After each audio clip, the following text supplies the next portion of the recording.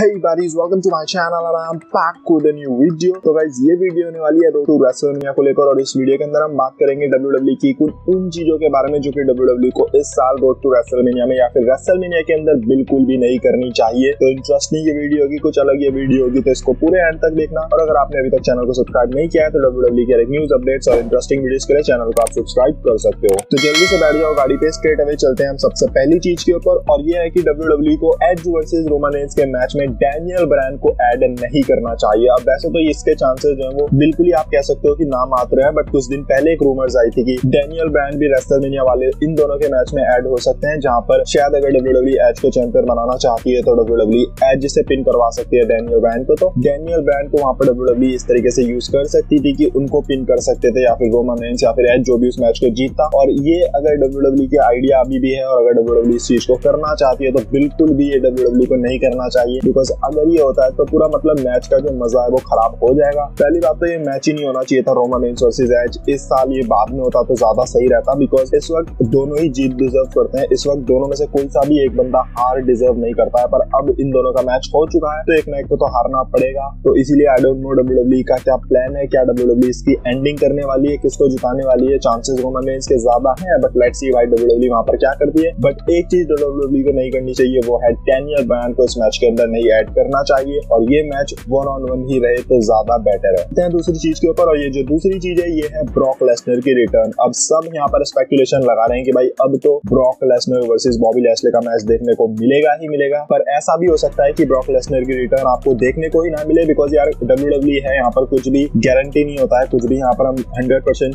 के साथ नहीं बोल सकते हैं। तो चांसेस तो है ब्रॉक लेसनर के वापस आने के और बॉबी लेसले के साथ मैच रसल करने के। पर इफ़ ब्रॉक लेसनर रिटर्न नहीं होते हैं और अगर ये मैच नहीं हो रहा है तो फिर ये बहुत बड़ी गलती होने वाली है WWE की। बिकॉज़ इतने सालों से लोग इस मैच का वेट कर रहे थे। फाइनली इस मैच का मौका है तो भाई कोई भी इस मैच की जगह कोई और मैच नहीं देखना चाहेगा। कोई भी बॉबी लेसले के साथ किसी और को देखना नहीं चाहेगा बिकॉज़ बॉबी लेसले का बेस्ट और ओनली ओपोनेंट अगर इस साल कोई हो सकता है तो वो फिर भाई ब्रॉक लेसनर ही है। अदरवाइज़ तो फिर कॉम्प्रोमाइज वगैरह आप कर सकते हो बट ब्रॉक लेसनर ही की रिटर्न यहाँ पर हो तो वो बेटर है। पर ये चीज़ अगर डब्ल्यू नहीं करती है ब्रॉक लेसनर की रिटर्न इस साल नहीं कराती है रसलमिनिया से पहले तो ये एक ऐसी चीज़ है जो की बहुत ही खराब होने वाली है। चलते हैं अगली चीज़ के ऊपर और ये है ड्रू मैकेंटायर और सीमस के बीच में एक बार फिर रेस्टलमेनिया के अंदर मैच नहीं होना चाहिए। अब मैं ये इसलिए बोल रहा हूँ बिकॉज़ इन दोनों के बीच में एक कमाल का मैच हो चुका है रॉ के अंदर और जिस तरीके से स्टोरी लाइन चल रही है, उस हिसाब से ये वैसी स्टोरी लाइन नहीं चल रही है कि इन दोनों के बीच में रेस्टलमेनिया के अंदर मैच बनाया जाए। हो सकता था अगर डब्ल्यू इस मैच को बनाती पहले तो ज़्यादा मज़ा आता बट डब्ल्यू ने इस मैच को रॉ के अंदर ही करा दिया क्लीन करवा दिया और काफ़ी कमाल का वो मैच करवा दिया। तो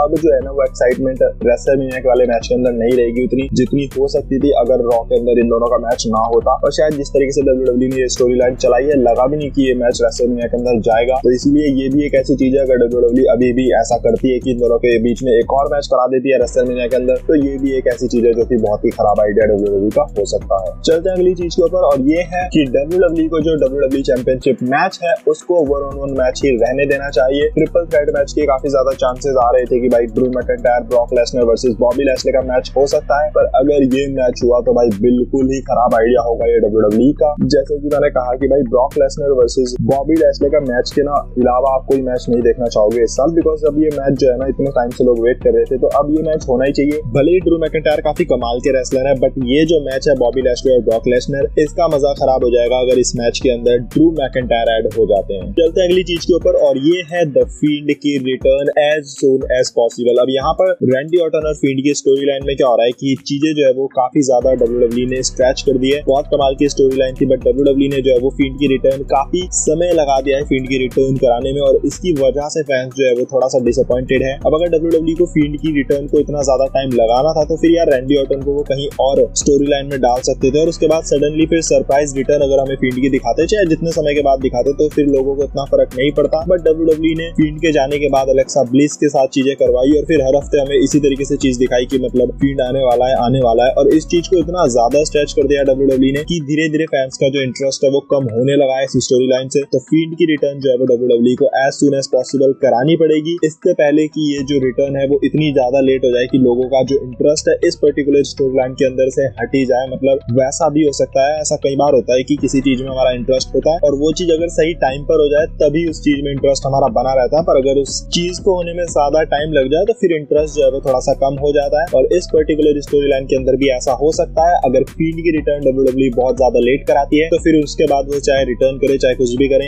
इंटरेस्ट जो है वो फैंस का कम हो जाएगा। तो इसीलिए फ़ील्ड की रिटर्न जो है वो रोड टू रेसलमेनिया के अंदर अब तो हो ही जानी चाहिए एज सुन एज पॉसिबल अगली जो चीज़ है वो है आस्का वर्सेज शार्लेट फेयर का मैच रेसलमेनिया के अंदर। अगर डब्ल्यू कराती है तो ये एक बार फिर से खराब आइडिया होने वाला है। अब ये बात तो नो डाउट है कि शार्लेट और आस्का के बीच में जब पहली बार रेसलमेनिया के अंदर मैच हुआ था, वो one of the best match रहा है। और क्या कमाल का वो मैच था, क्या कमाल की इस मैच की एंडिंग थी। बट एक बार फिर से हम इस मैच को नहीं देखना चाहेंगे बिकॉज़ शार्लेट प्लेयर मतलब हर साल जब भी रेसलमेनिया आता है तो कहीं ना कहीं वुमेन्स डिवीज़न के अंदर उनको वो मैच मिल ही जाता है। तो यहाँ पर वो मैच नहीं मिलना चाहिए। आस्का को कोई बेटर ओपोनेंट मिलनी चाहिए और उसमें से नाम जो है वो रिया रिप्ली का ज़्यादा आ रहा है कि रिया रिप्ली शायद वो हो सकती है। और अगर रिया रिप्ली होती है तो फिर ज़्यादा मज़ा आएगा या फिर अलेक्सा ब्लिस होती है तो भी अच्छा लगेगा। But Charlotte Flair versus Asuka एक बार फिर से अगर होता है तो फिर शायद वो एक ऐसी चीज़ है जो कि फैंस का इंटरेस्ट कम कर देगी। चलते हमारी आखिरी चीज़ के ऊपर, और ये है ड्रू मैकेंटायर को रेसलमेनिया के अंदर एक बार फिर से डब्ल्यू डब्ल्यू चैंपियन बनाना। अगर डब्ल्यू का ये अभी भी प्लान है और ये आइडिया है और अगर WWE ये करना चाहती है तो ये बहुत खराब डिसीज़न है WWE का। अब ड्रू मैकेंटायर दो बार चैंपियन बन चुके हैं। मुझे नहीं समझ आ रहा है कि ये जो बातें चल रही है ना इतने समय से कि भाई ड्रू मैकेंटायर को एक बार फिर से चैंपियन बनाना है रेसलमेनिया में, जो पिछले साल ऑडियंस के साथ वो नहीं कर पाए। इस बार ऑडियंस होगी तो इस बार उनको चैंपियन बनाना है। वही चीज़ दोबारा से रिक्रिएट करनी है। मुझे समझ नहीं आ रहा है कि यार एक बंदा जब चैंपियन बनता है ना पहली बार, वो जो फीलिंग आती है, उसके चेहरे पे जो फीलिंग होती है, जो ऑडियंस को उसके लिए खुशी महसूस होती है ना, वो तीसरी बार चैंपियन बनने में आएगी कि नहीं, भले ही उस टाइम ऑडियंस थी या नहीं थी बट वो टाइम चला गया है। अब वो चीज़ आप दोबारा से रिक्रिएट नहीं कर सकते। अब जो इमोशन ड्रू मैकेटायर के चैंपियन बनने में आएँगे ना, वो वो वाले नहीं आएँगे जो वो पहली बार बनने में चैंपियन बनने में आए थे। तो यार, पहली बार चैंपियन बनने में और तीसरी बार चैंपियन बनने में फ़र्क है। भले वो जितना मर्ज़ी अच्छी एक्टिंग वहाँ पर करने की कोशिश करे, भले जितना मर्ज़ी इमोशनल वो चीज़ वहाँ पर दिखाने की कोशिश करे